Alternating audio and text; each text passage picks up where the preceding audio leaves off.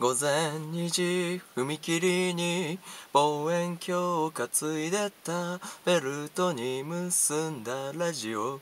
雨は降らないらしい。2分後に君が聞いた。大げさな荷物背負ってきた。始めようか天体観測ほうき星を探して深い闇に飲まれないように。精一杯だった。君君の震える手を握ろうとしたあの日は見えないものを見ようとして望遠鏡を覗き込んだ。静寂を切り裂いていくつも声が生まれたよ。